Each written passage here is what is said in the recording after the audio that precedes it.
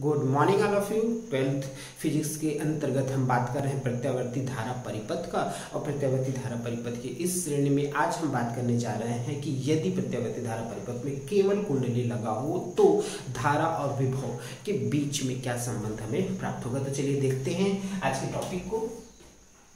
प्रत्यावर्ती धारा परिपथ में केवल कुंडली लगा।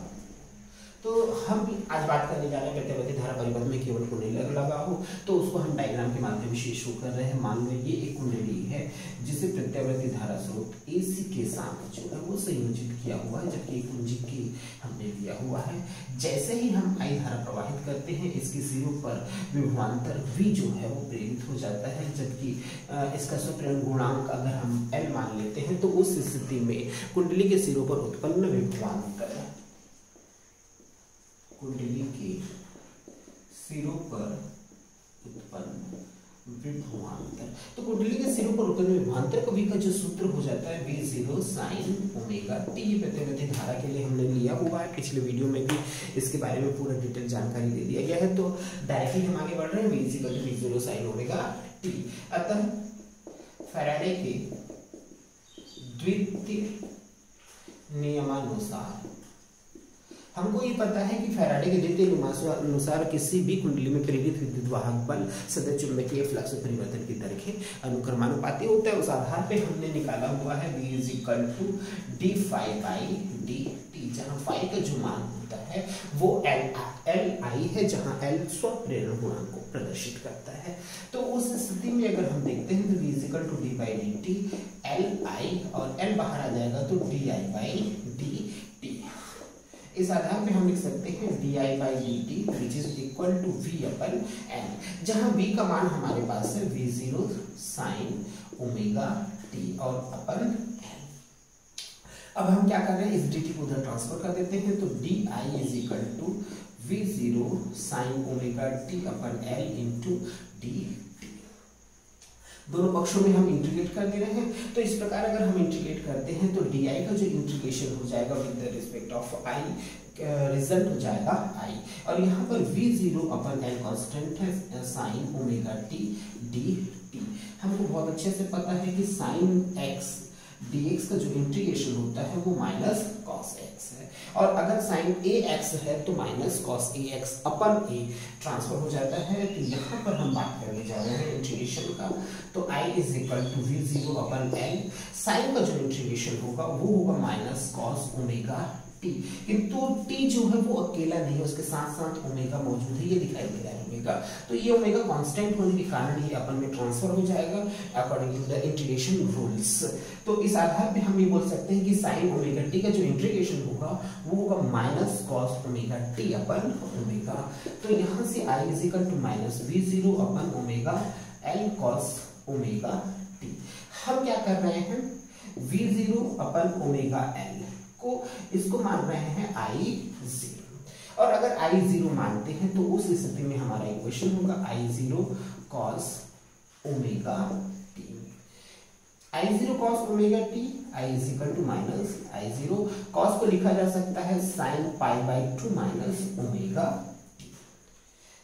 cos sine 90 minus theta which is equal to cos theta होता है। ये माइनस जो है, हम अंदर ट्रांसफ़र कर देते हैं तो आई ज़ीरो साइन ये हो जाएगा omega T minus pi by हमने माइनस को ट्रांसफ़र कर दिया हुआ है अंदर, क्योंकि हमको पता है sine minus theta which is equal to minus sine theta तो इस आधार पर हमारे पास जो इक्वेशन आया हुआ है I is equal to I zero sine omega T minus pi by two तो अगर हम यहाँ पर ध्यान दें तो voltage v is equal to V zero sine omega T है, जबकि धारा I zero sine omega T minus pi by two मतलब यहाँ पर भी पाई बाई टू का जो है, वो कलांतर प्रोड्यूस हो चुका है। तो उस स्थिति में अगर हम बात करें तो वोल्टेज व धारा के मध्य पाई बाई टू का कलांतर उत्पन्न हो जाता है।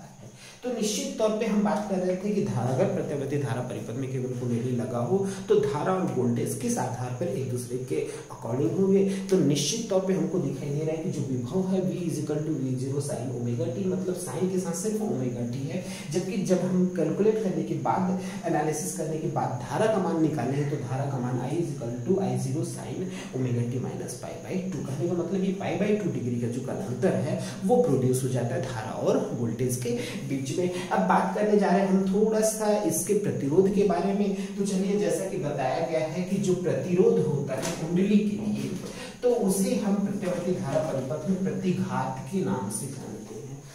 प्रत्यावर्ती धारा परिपथ में जो रुकावट है जो प्रतिरोध उत्पन्न होता है, उसको यदि कुंडली लगा हुआ है तो उस स्थिति में उसको हम नाम देते हैं प्रतिघात। और उसे सदैव हम एक्सेल से दर्शाएँगे। तो यहाँ पर हम बात करने जा रहे हैं, चूँकि अपन ओमेगा बराबर हमने लिया हुआ है ज़ीरो ये दिखाई दे रहा है। इसके आधार पर तो यहाँ से अपन this is equal to omega जो है, वो वोल्टेज का शिखर मान है, जबकि आई ज़ीरो जो है, वो धारा का शिखर मान है। तो उस स्थिति में वोल्टेज और धारा वोल्टेज अपन धारा जो होता है, वो प्रतिरोध को रिप्रेजेंट करता है। चूँकि प्रत्यावर्ती धारा परिपथ में कुंडली लगा हुआ है। इसलिए प्रतिरोध को हम प्रतिघात बोलेंगे और x से प्रेजेंट करेंगे तथा कुंडली के लिए x l तो x l is equal to omega L इस प्रकार से हमारे पास सूत्र निकला हुआ है प्रतिघात का। X l is equal to omega L अब हम थोड़ा सा बात कर लेते हैं फेजर आरेख का, क्योंकि इसी से रिलेटेड है फेजर आरेख। तो फेजर आरेख के बारे में जब हम बात करेंगे तो विशेष तौर पे ध्यान रखेंगे, क्योंकि फेजर आरेख क्या होता है? कि प्रत्यावर्ती धारा परिपथ में धारा और वोल्टेज के बीच में संबंध दर्शाने वाले ग्राफ को फेजर आरेख कहा जाता है। तो आइए हम संबंध दर्शाने का प्रयास करते हैं। हम तीन चीज़ें ले चुके हैं, सबसे पहला ले चुके हैं, इसको भी मिटा दिया जाए। हमने तीन चीज़ों की बात की हुई है। सबसे पहले प्रतिरोध में प्रतिरोध की बात करते हैं तो V is equal to V zero sine omega T लेने के बाद धारा जो है, I is equal to I zero sine omega T हमको प्राप्त हुआ है। आप इसके लिए पिछले वीडियोस देख सकते हैं। संधारित्र संधारित्र के लिए हमने v is equal to V zero sine omega T ही लिया हुआ था, किंतु धारा के लिए I is equal to I zero sine omega T plus pi by ये हमको प्राप्त हो चुका है। तथा अब हमने आज लिया हुआ है कुंडली। तो कुंडली के लिए भी is equal to V zero sine omega T तो I is equal to I zero sine omega T minus pi by two अब इसके आधार पे अगर हम बात करते हैं प्रतिरोध के लिए तो इसके विभव को हम दर्शाएँगे वी आर से संधारित्र के लिए वी सी से, और कुंडली के लिए वी एल से। तो सबसे पहले हम बात करने जा रहे हैं वी आर की। वी आर इसलिए क्योंकि जब हम वी आर की बात करें तो वोल्टेज हमारा जो है V is equal to zero sine omega T है। उस समय धारा जो है I is equal to I zero sine omega T कहने का मतलब धारा और वोल्टेज जो है वो एक ही कला में है। तो उस आधार पर प्रतिरोध का जो डायरेक्शन होगा, दोनों का सेम होगा वोल्टेज और करंट का। किंतु सेकेंड केस में अगर मैं संधारित्र की बात करूँ तो वोल्टेज जो है वो V zero sine omega T है, किंतु धारा जो है omega T plus pi by two pi by two ninety degree से वो आगे है। तो आगे है तो हम इसको इस रूप में दर्शा लेते हैं। ये वीसी का डायरेक्शन होगा। ये पाई बाई टू जो एंगल है, वो क्रिएट हो जा रहा है प्लस पाई बाई टू।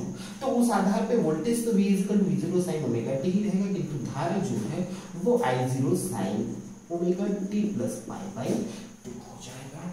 जबकि अगर हम बात करें कुंडली का तो कुंडली के लिए भी वोल्टेज का जो मान है visible to visible sine omega T ही है, किंतु इस स्थिति में धारा जो है वो माइनस पाई बाई टू मतलब इससे माइनस माइनस मतलब ऊपर क्यों जाएँगे तो यहाँ पर माइनस पाई बाई टू जो है, वो हमको उस आधार पर प्राप्त हो जाएगा। तो यहाँ हमने माइनस पाई बाई टू लिया हुआ है ये minus pi by two pi by two degree हो जाएगा तो ये जो डायरेक्शन होगा, वो वी एल का डायरेक्शन होगा। यहाँ पर I is equal to I zero sine omega three minus pi by तो इस आधार पे इसका एक ग्राफ तैयार होता है, जिसको हम फेजर आरेख के नाम से जानते हैं, जिसमें कुंडली संधारित्र और प्रतिरोध तीनों हमने संयोजित किया हुआ है और उस आधार पे धारा और वोल्टेज की जो अग्रता और पश्चता है, वो शो की गई है। तो अगला जो भी परिपथ हम स्टडी करेंगे, इसी के बेस पर एनालिसिस करेंगे। इसलिए इसको जानना बहुत ज़रूरी